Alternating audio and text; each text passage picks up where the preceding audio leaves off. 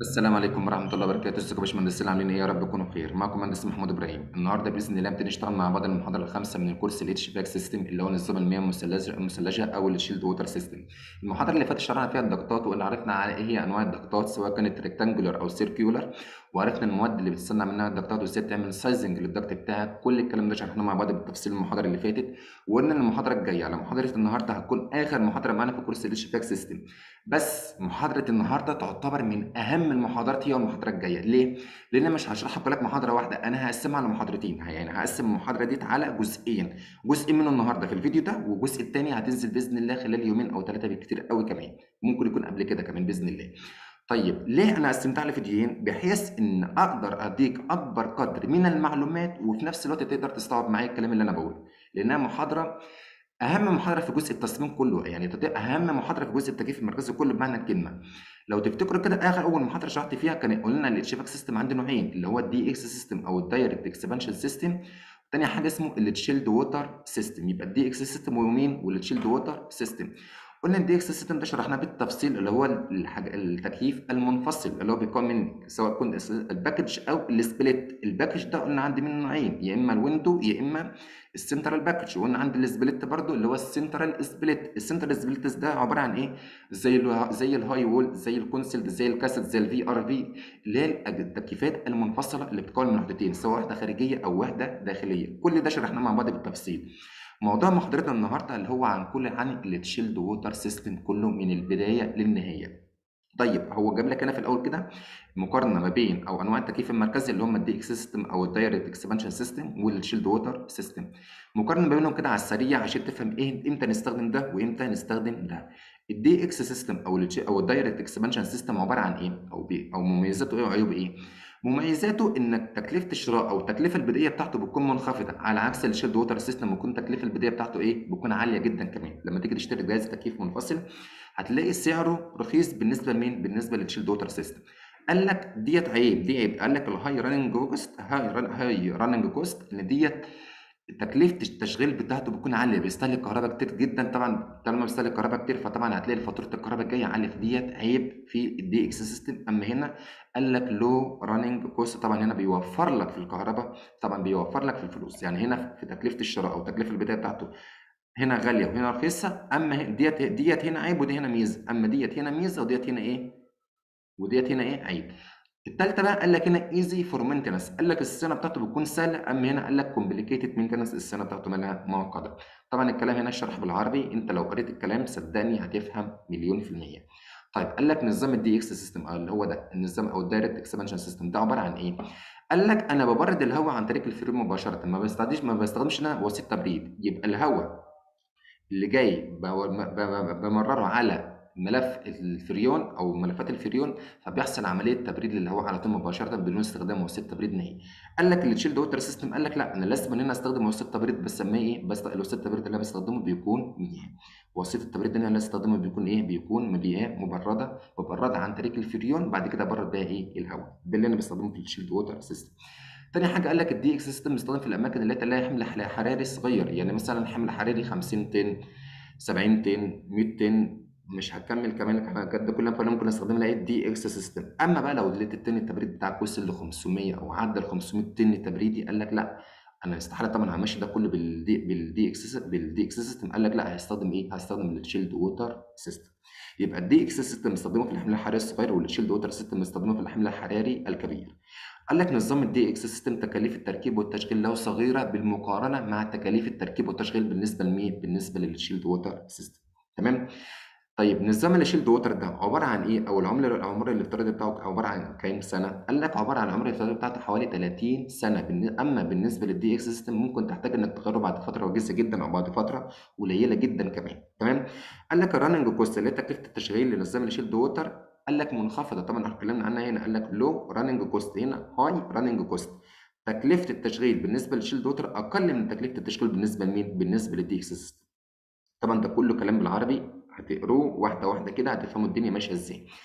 بالنسبة للشكل الجمالي للمبنى أنت كده لما تيجي تستخدم ال chilled water system بقى كده تستخدم بقى duct ات تستخدم بقى diffuser ات كده بتدي واجهة جميلة كده للمبنى. على عكس ال DX system الوحدة الداخلية تلاقيها جوه بتطلع لك كده في الحيطة وبتاع والوحدة الخارجية تلاقيها مشوهة شكل المبنى من الخارج. قال لك تستخدم وحدات خارجية تشوه شكل الجمال المبنى اللي هي الوحدة الخارجية اللي بتتكون بقى من ال compressor وال condenser وال expansion valve والكلام ده كله. قال لك نظام ال DX system ده عبارة عن إيه؟ سهل عند إجراء أعمال الصيانة. له أما نظام ال chilled معقد في أعمال الصيانة ويحتاج إلى متخصصين مليون في المية. أنت مش هتجيب طبعا الفني بتاع ال DX زي الفني بتاع ال chilled water.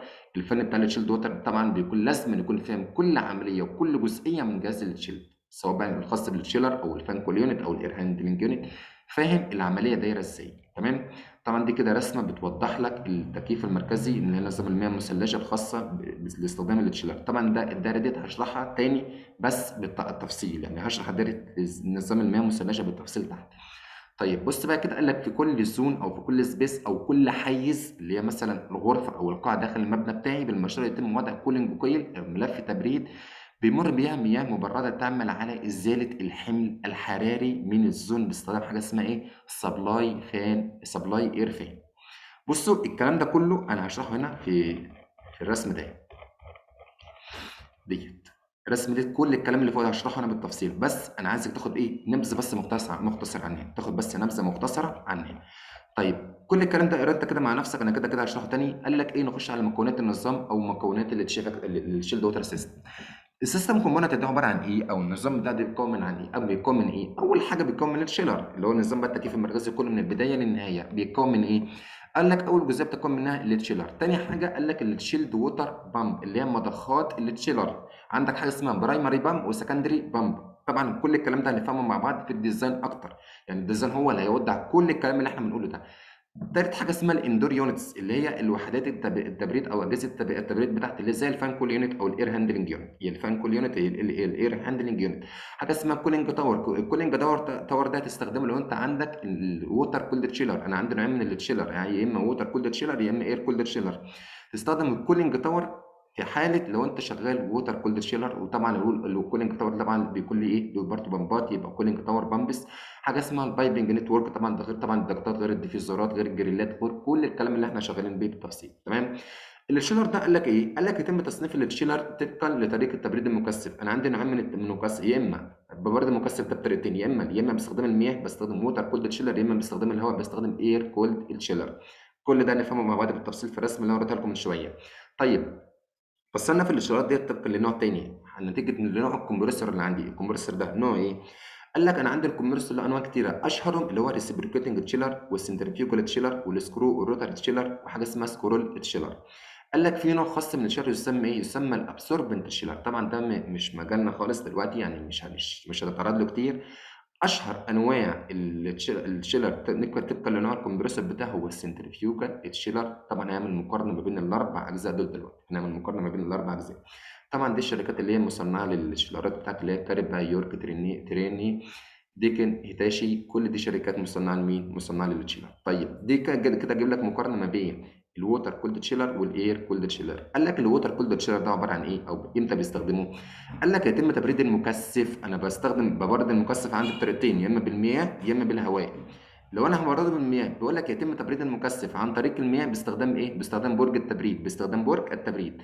النوع ده unlimited unlimited. ليه unlimited ممكن يستخدم لغاية 500 طن تبريدي 1000 طن تبريدي زي ما أنا عايز زي ما أنا عايز بس لازم يكون متوفر لي مصدر مياه.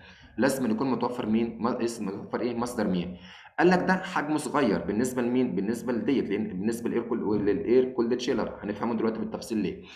قال لك هنا يمكن وضعه في أي مكان مع توفير مصدر مياه حطه في أي مكان بس لازم يكون المكان اللي أنت هتحطه فيه متوفر فيه مصدر مياه يستهلك طاقه أقل كفاءته اعلى سعره مرتفع صيانته إيه؟ معقده بالنسبة بقى لل air cooled chiller قال لك يتم تبريد المكثف عن طريق الهواء باستخدام إيه؟ مراوح هتلاحظ إن هو حجمه كبير ليه؟ قال لك بسبب مراوح أنت مش هنا مش بتستخدم يعني مروحة واحدة ولا اتنين لا أنت هنا بتستخدم كذا مروحة على حسب الطن التبريد اللي عندك.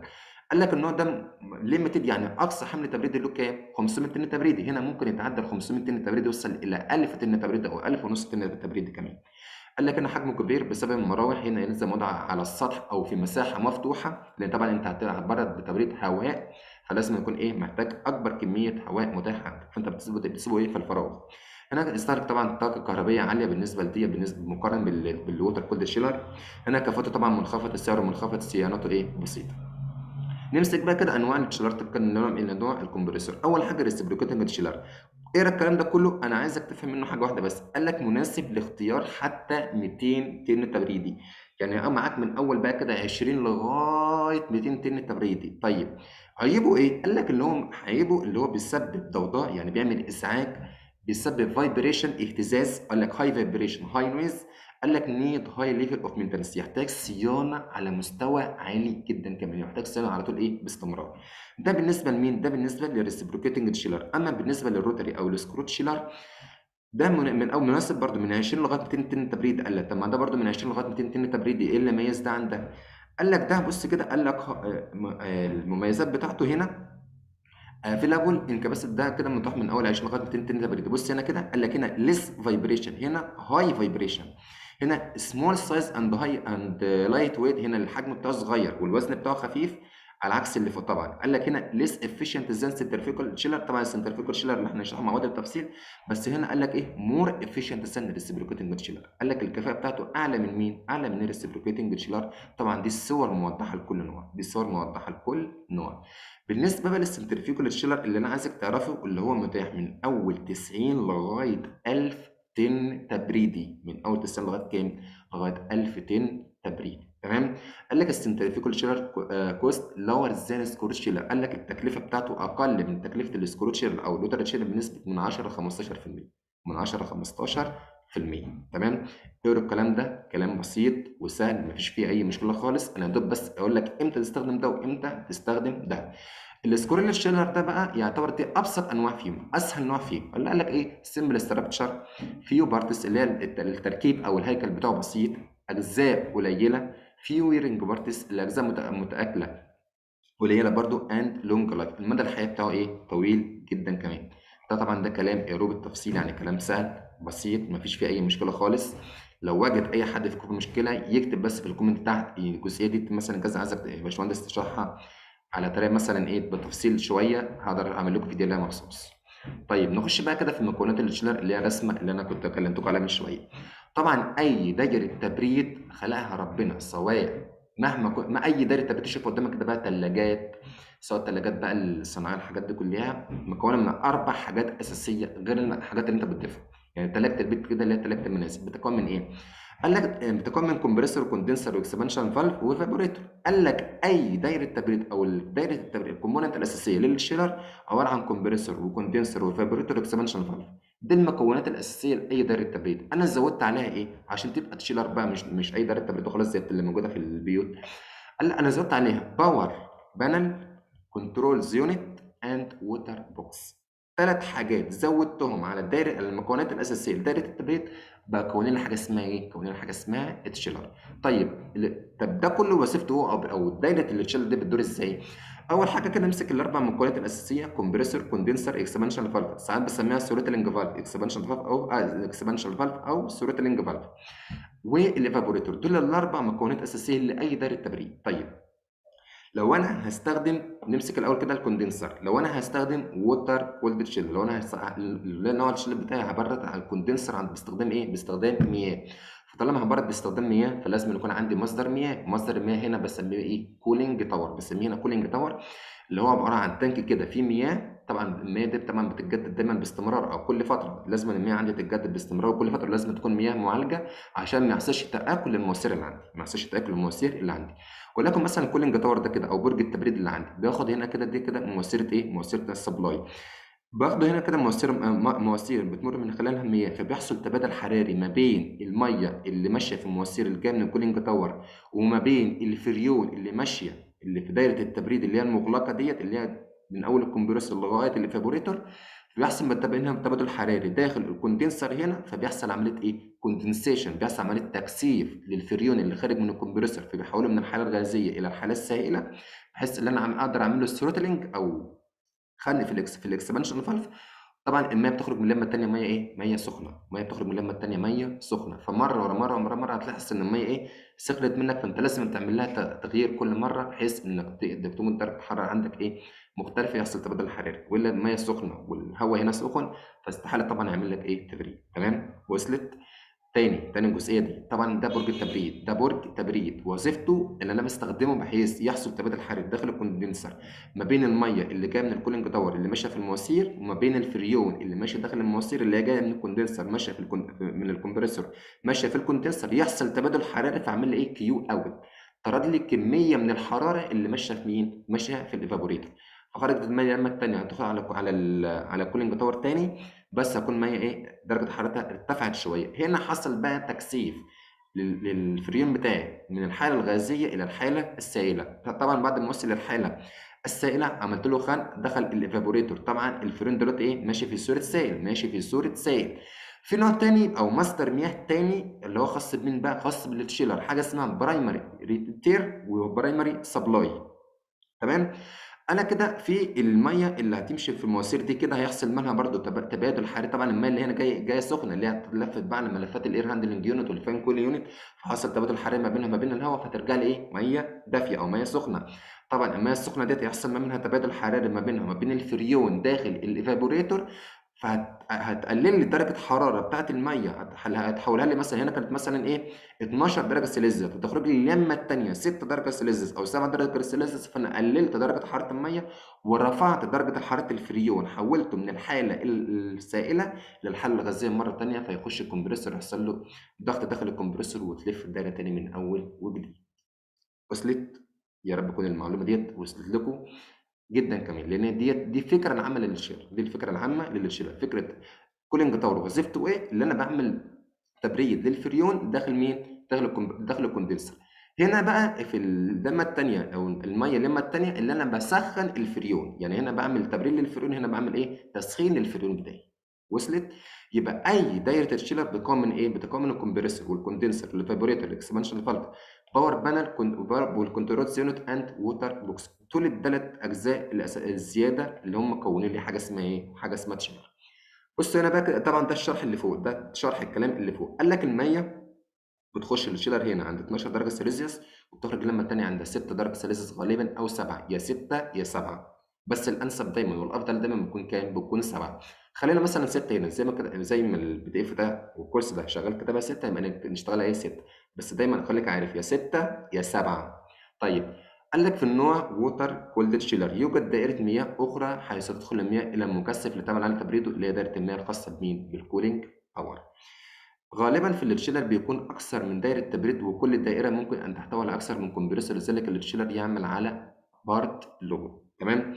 قال لك كل chiller إيه؟ له حاجة اسمها microcomputer control. ده بيعمل إيه؟ بيقول لك ده بيكون على حسب الشركة المصنعة. هو عبارة عن software جهاز software متحكم في التشغيل. بيعطي لك إنذار لو حصل عطل أو حصل مشكلة في ال chiller زي إيه مثلا؟ قال لك مثلا حصل ارتفاع في ضغط الفريون أو انخفاض في ضغط الفريون.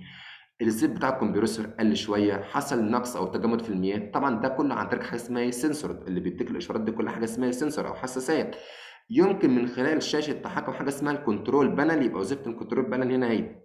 وظيفتها إيه اللي هي تحدد لك نوع العطل تحدد لك نوع العطل تمام؟ يمكن التحكم في درجة حرارة المياه عن طريق حاجة اسمها إيه؟ solenoid valve بقدر أتحكم فيها عن درجة حرارة المياه بتاعتي أشوفها كام؟ أتحكم فيها أزودها أقللها زي ما أنا عايز زي ما أنا عايز. طبعا دي كلها آه، صور خاصة بال chillerات ده صورة خاصة بال water cooled chiller ودي صورة خاصة بالو... بال air cooled chiller هتلاحظوا إن الحجم هنا أكبر من الحجم هنا بكتير كمان. بكتير كمان. تمام؟ طبقا لنوع المراوح وعدد المراوح اللي انت مستخدمها في ال air cooled chiller طيب ال design بتاع ال chiller ده بستخدم بعمله design إزاي؟ وبحدد نوع ال chiller بتاعي على أساس إيه؟ قال لك ال design requirements اللي هي متطلبات ال design. لازم أن تكون عارف كمية ال GPM اللي عندك داخل المبنى كلها كام؟ لازم أن تكون عارف كمية ال GPM داخل المبنى عندك كلها كام؟ وليكن مثلا أنا طلعت الحمل الحراري طبعا باستخدام برنامج ال HAP 500 طن تبريدي تمام؟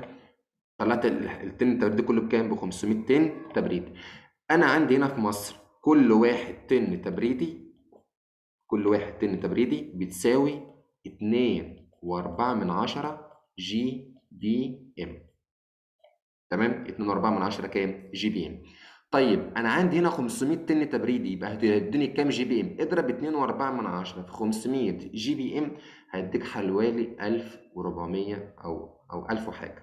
كام؟ آه 1000 وحاجة 1000 وحاجة تمام؟ دي كمية ال GPM اللي أنت عايزها داخل المبنى كليا وليكن مثلا إيه؟ 1400 وليكن كام؟ 1400 GPM دي كمية ال GPM اللي أنا محتاجها فين؟ داخل المبنى بتاعي داخل المبنى بتاعي. يبقى أنا محتاج كمية ال GPM كده عرفت كمية ال GPM لازم تكون عامل sizing لل pipe بتاعتك وطبعا هنعمل حاجة باستخدام برنامج ال pipe sizer هنتكلم عنه كمان شوية. حاجة اسمها إيه؟ pressure drop of pump طبعا هنتكلم عنه برده بالتفصيل كمان شوية. إيه هو ال pressure drop وايه هو ال pipe size طيب.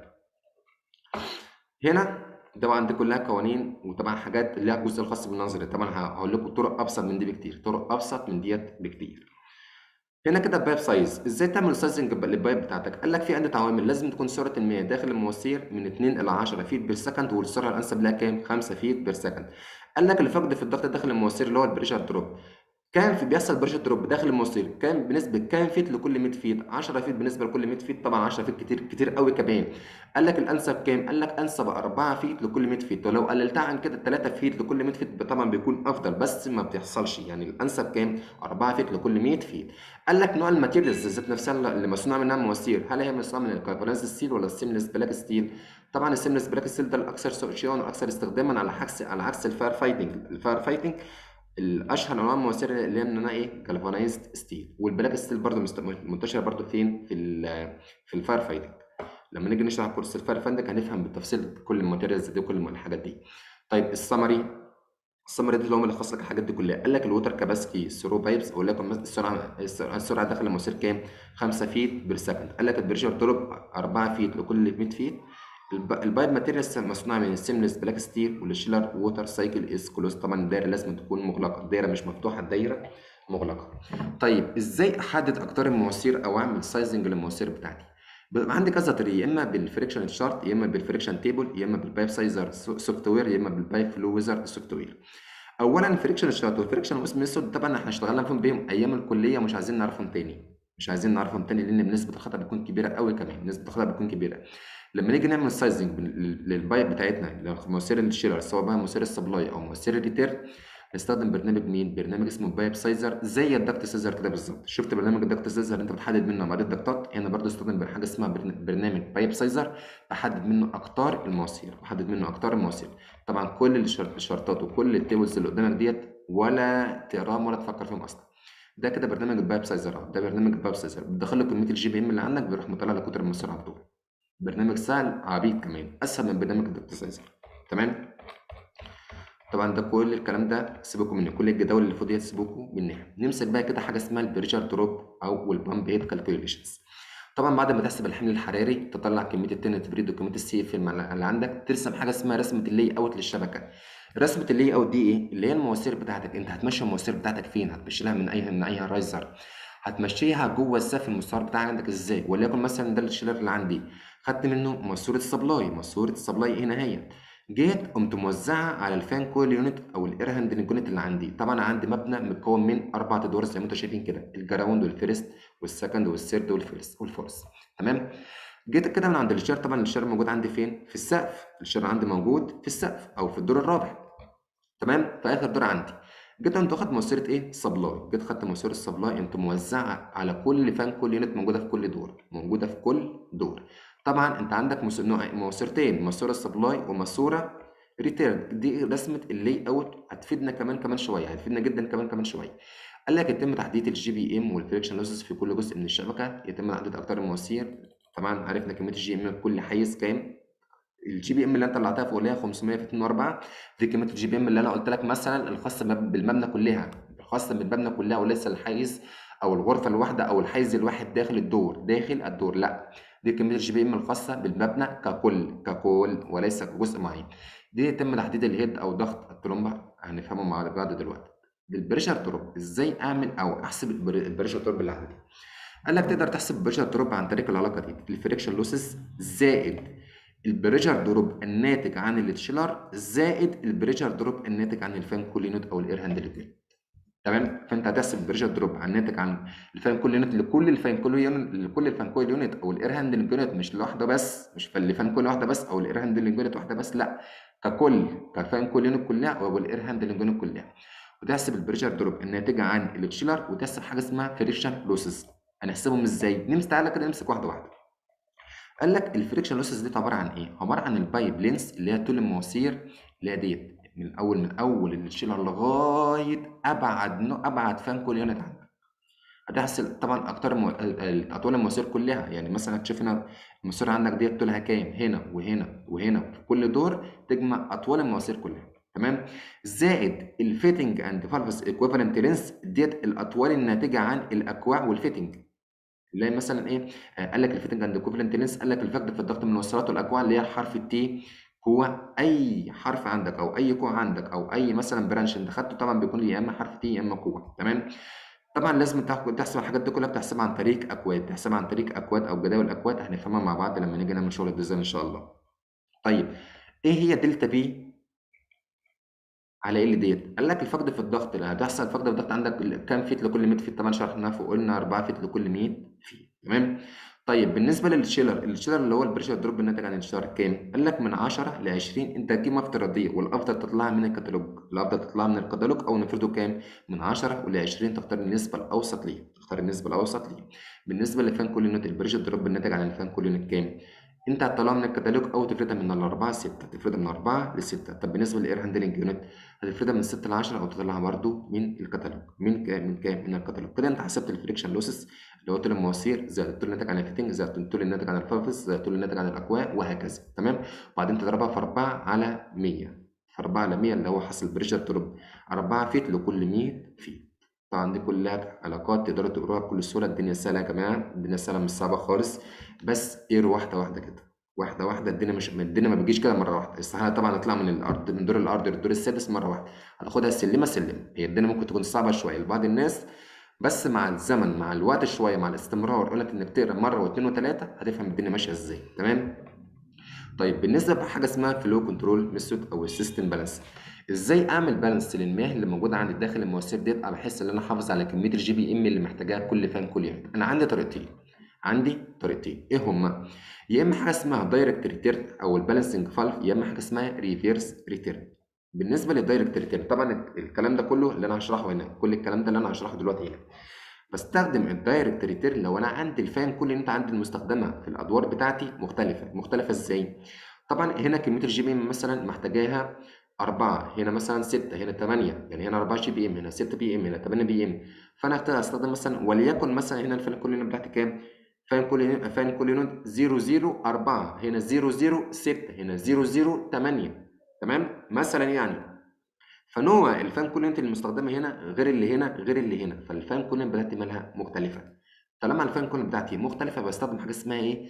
balancing valve خارج من كل fan coil unit balancing valve اللي هو الصمام الاتزان بحيث اللي هو يحافظ لي على كمية ال GPM اللي هي داخلة داخلة لمين؟ لل fan coil unit اللي عندي. تمام؟ هنا برضو نفس الموال هستخدم balancing valve هنا برضو نفس الموال هستخدم balancing valve طيب أنتوا مش ملاحظين هم اللي أنا مستخدمه؟ طبعا ده خط ال supply وده خط ال return هنا كده خط ال supply وهنا خط ال return لاحظوا إن مش ملاحظين إن ال balancing valve متركب على ال- ال return ال return line وليس على ال supply line طب ليه؟ قال لك لأن الضغط على ال return بيكون أقل من الضغط على ال supply الضغط على ال return بيكون أقل من الضغط على ال supply عشان أنا أقدر أحافظ على الصمام بتاع ال balancing valve أقدر أحافظ عليه. دي الفكرة كلها بتاعت مين؟ بتاع ال direct return طيب بالنسبة لل reverse return دي بستخدمها لو أنا عندي كل أجهزة ال fan coil unit من نفس النوع. يعني هنا مثلا fan coil fan coil unit 0 10 هنا fan coil unit 0 10 هنا fan coil unit كام؟ 0 10 هتلاحظوا إن كل الأنواع هنا واحدة يعني كمية ال GPM واحدة يعني كمية الفقد في الضغط واحدة. فأنا بستخدم اللي هو حاجة اسمها reverse return reverse return هنا مش هستخدم بقى إيه؟ balancing valve زي اللي فوق. هنا مش هستخدم balancing valve زي اللي فوق. دي الفكرة ما بين ال reverse return وال direct return تمام؟ طبعا دي كده كل دي رسومات يعني متوضح لك الدنيا دي كلها بالتفصيل. المحاضرة الجاية بإذن الله هنبتدي نشتغل من بعض من مع بعض من أول هنا من أول ال part load control المحاضرة الجاية محاضرة مهمة جدا جدا جدا كمان. تمام؟ يا ريت لو أنت مشترك في القناة ما تنساش تعمل like للفيديو ولو أنت أول مرة تشترك يا ريت تشترك في المع... في القناة لأن الجزء الفترة الجاية بإذن الله أنا خلاص هخلص الجزء النظري وابتدي أخش في الجزء ال design على طول. بحيث ان اوصل لك كل الفيديوهات تكون ماشية معانا من أول محاضرة بحيث إنك ما تتأخرش تكون فاهم الدنيا ماشية إزاي. تمام؟ شكرا والى اللقاء في المرة القادمة والسلام عليكم ورحمة الله وبركاته.